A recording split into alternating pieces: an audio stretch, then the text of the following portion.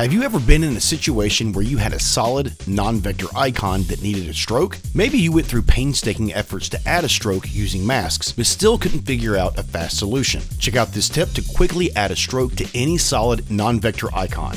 I have this solid icon. As you can see, it's a PNG file. My client needs this icon to have a stroke, but since it's not a vector, I can't convert the image to a shape layer and simply add a stroke at the shape layer level. However, there is a quick fix for this situation. With the icon selected, go to Layer, Layer Styles, and add a stroke. As you can see, After Effects will add a 3 pixel red stroke around all the edges of the image. I want this stroke to be black, so I'll change the color here. I also need to increase the stroke size. As you can see, this stroke still isn't ideal. Well, the cool thing about layer style strokes is that you have more options. If you look at the position control, you'll notice that it defaults to outside. Select the position dropdown and change the stroke to center. Now the stroke looks much better and no one will ever know this icon didn't originally come with a stroke. So the next time you need to add a stroke to a solid non-vector icon, remember to add a layer style stroke and you'll be good to go.